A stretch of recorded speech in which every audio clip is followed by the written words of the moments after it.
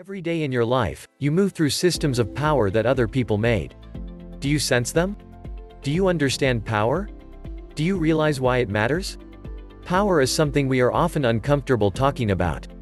That's especially true in civic life, how we live together in a community.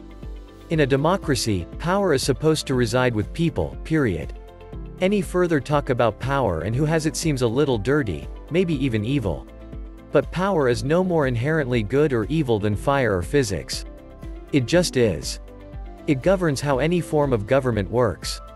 It determines who gets to determine the rules of the game. So, learning how power operates is key to being effective, being taken seriously, and not being taken advantage of. In this video, we will be looking at the top 10 books on power and strategy. So let's start the show. Shall we? Number 1. Laws of Power by Robert Greene. When you show yourself to the world and display your talents, you naturally stir all kinds of resentment, envy, and other manifestations of insecurity, you cannot spend your life worrying about the petty feelings of others. Robert Greene's masterpiece needs no introduction. We consider it a masterpiece to understand the power and the strategy to gain it easily. This book has 480 pages where Robert Greene has explained the concept of power and rules of power in an amazing way. When I first read and absorbed this book, it begets the feeling of insecurity inside me. I felt that I will not be able to digest all the truths mentioned in it regarding power. The frightening and amoral truths were very hard to accept like, get others to do the work for you, but always take the credit, discover each man's thumbscrew, make other people come to you.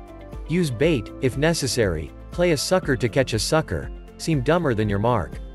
This book allows you to understand human nature and the human condition as well. Number 2. The Prince by Niccolo Machiavelli. Everyone sees what you appear to be, few experiences what you really are. This book has 80 pages where the writer explains the basic rules that you need to follow to get the power, the political power. This book is normally recommended to the students of political science in their first class.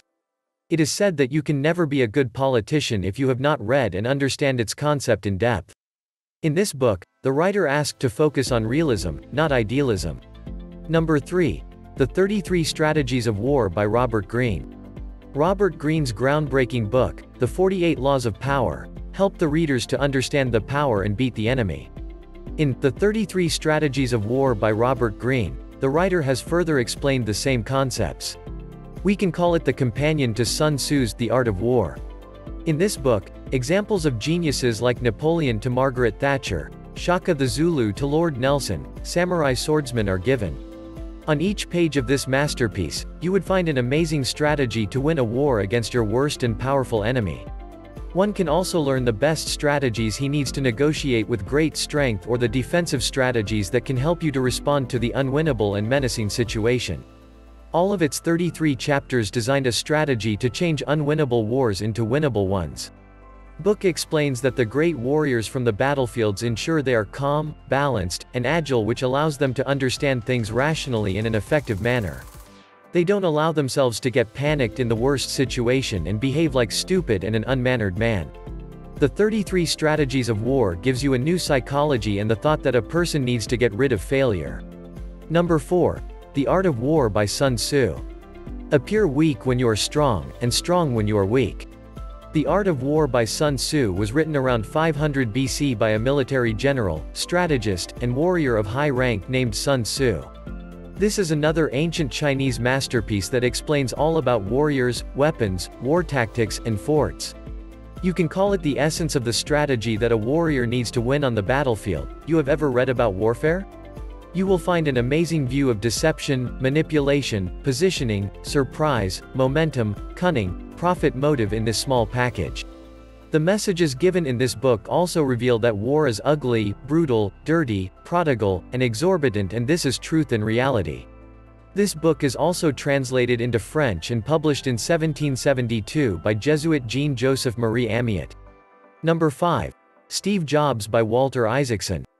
One way to remember who you are is to remember who your heroes are. When you are interested in getting knowledge or want to be successful in your life, Try to learn what great and successful people do or have done in their lives and apply these rules to your life. Steve Jobs was among the most successful businessmen on the planet. He achieved this success through his unbeatable products designed with exceptional innovation and technology. His perfect mindset and charismatic perfection and consistency in his attitude allowed him to get power and influence. No one can ignore the CEO of the most powerful company in the world. Walter Isaacson wrote Steve Jobs' biography having more than 40 interviews with him. Walter Isaacson has written a well-explained story of Steve Jobs' life, personality, passion, six industries, music, phones, tablet, computers, and animated movies. Number 6. Daniel Goleman's Golden Triad, Emotional Intelligence, Social Intelligence, Focus. Social Intelligence is a book that will allow you to have a deep look at social dynamics. It will also help understand the social behaviors and how they beget. If you become able to understand other behaviors and redress your social behavior. Whereas emotional intelligence makes you understand yourself and your emotions as well. It makes you know all this through real-life examples, scientific discoveries, and many other solutions. It helps you understand the ways that you can utilize not only for your good but also for the betterment of your close or beloved ones. Number 7. The 50th Law by Robert Greene and 50 Cent. Your fears are a kind of prison that confines you within a limited range of action. The less you fear, the more power you will have and the more fully you will live. The 50th Law is one of the best-selling books of the New York Times explaining the strategy and fearlessness written by author Robert Greene with the collaboration of rapper 50 Cent. After enduring a lot of atrocities in life and seeing the dirty face of power, 50 Cent learned only one lesson and that was, fear nothing. This book explains a principal rule that fear has a negative effect begets anxiety and causes the paralysis of the will. Number 8. How to Win Friends and Influence People by Dale Carnegie. It isn't what you have or who you are or where you are or what you are doing that makes you happy or unhappy.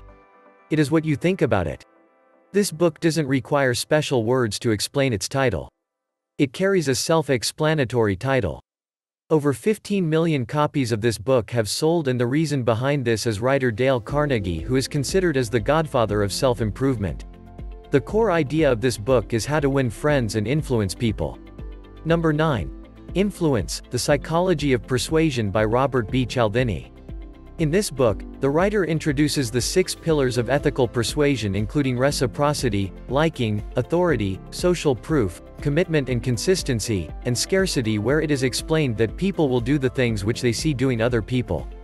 It also addresses that you can easily persuade a person who likes you and people used to obey a person who has authority.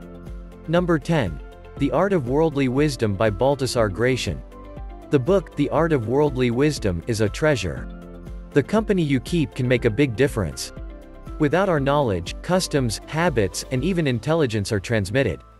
This book was created in the 17th century by the Spanish Jesuit scholar Baltasar Gracian, as I mentioned in my post 35 pieces of life-changing wisdom, that will make you more powerful and successful.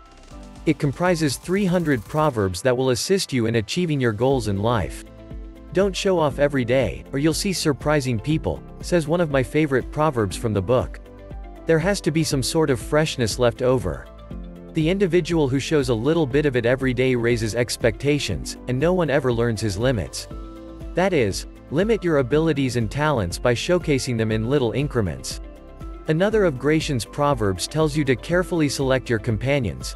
Place the proper people beside you. The company you keep can make a big difference. Without our knowledge, customs, habits, and even intelligence are transmitted. So, that was all about the best books on power and strategy. If my video was informative to you, make sure you hit the like button and subscribe the channel for more interesting videos. Until my next video, stay safe and healthy.